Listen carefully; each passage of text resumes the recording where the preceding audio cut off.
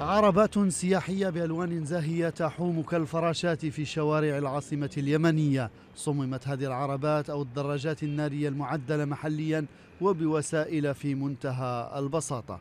نكهتها سياحية وتوفر في استهلاك الوقود وتخفف من زحمة السير فهذا ربما أفضل وموجود في دول متقدمة كثيرة يعني مش إلا في اليمن وحجمه الصغير يؤهله أنه يمر بسهولة ويسر بين السيارات وكذا بنتيجة ضيق الشوارع عندنا وكذا. الناس معجبين في التيك توك هذا تاكسي ويأخذون مشاوير في ناس حاجزين لنا للعمل تقول شركة الغزال للمواصلات أنها تقدم للسائقين الذين تتعاقد معهم في مشروع التوك توك دورات تدريبية على قواعد المرور والسلامة وخدمة العملاء وبمقدور السائق أن يكون مرشدا سياحيا إن دعت الضرورة لذلك للسياح القادمين للاستمتاع وحب الاطلاع والله قلة الحوادث قلة آه، أمان السير في هذا النوع من من التكتاك هذا.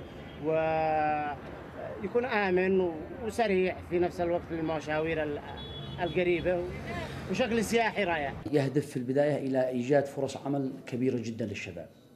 هناك شباب عاطل كثير عن خريجين الجامعات يعولون أسر.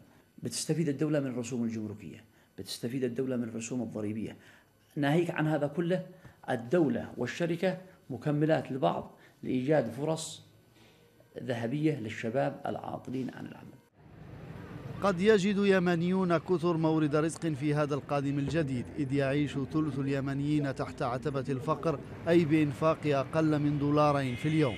وتقدر نسبة البطالة في البلاد بنحو 35% بينما تصل النسبة بين أبناء الجيل الجديد إلى 60%